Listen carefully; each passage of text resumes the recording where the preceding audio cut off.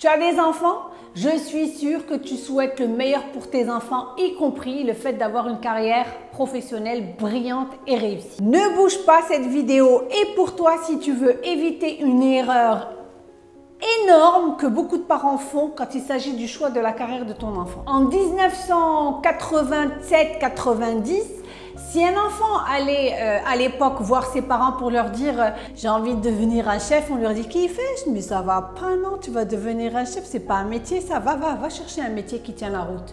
Et pourtant aujourd'hui, on a des gens qui ont brillé worldwide, on a Nusret, on a Oliver, on a Jamie, mais à l'époque, c'était le bon choix à faire. Aujourd'hui, c'est déjà trop tard. Mon message, c'est que vos enfants, quand ils viennent vous voir, ils viennent vous voir euh, par rapport à quelque chose qu'ils aiment aujourd'hui, mais inspiré du futur.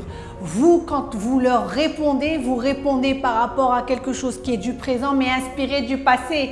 Et vous n'êtes pas sur la même longueur d'onde. Donc, ce qui est vrai pour vous aujourd'hui, mais en vous inspirant du passé, est complètement faux pour les enfants. Ils sont dans le futur, écoutez-les et accompagnez-les dans leur choix professionnel.